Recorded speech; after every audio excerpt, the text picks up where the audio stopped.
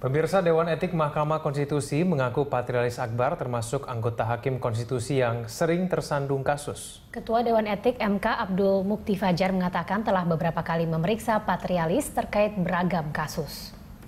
Ketua Dewan Etik MK Abdul Mukti Fajar mengatakan sudah beberapa kali memberi peringatan kepada Patrialis Akbar, baik melalui teguran ataupun tertulis. Kasus yang ditangani Dewan Etik terkait sejumlah informasi pemberitaan media massa. Abdul menuturkan Patrialis telah diperiksa sebanyak dua kali terkait perkara itu.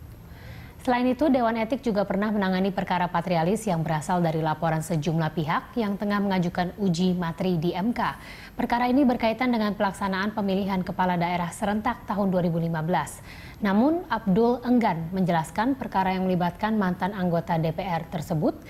Saat ini nasib patrialis menunggu Dewan Etik MK. Jika melakukan pelanggaran berat, MK bisa meneruskan pemberhentian tidak hormat. Yang kedua, supaya MK membentuk Majelis Kehormatan Mahkamah Konstitusi. Yang kedua, membebaskan dulu dari hakim itu dari tugas-tugasnya. Ya, tidak boleh ikut sidang, tidak boleh ikut rapat, macam-macam. Nah, kemudian bolanya bergeser dari Dewan Etik ke MK-MK kalau sudah terbentuk.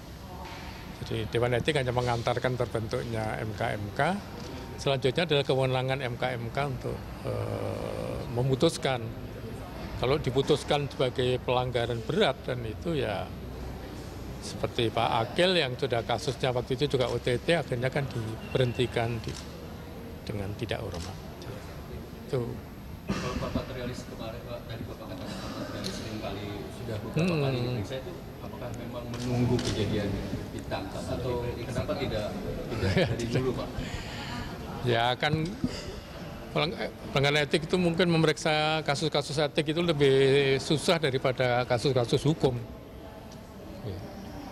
Ya, kalau masih bisa di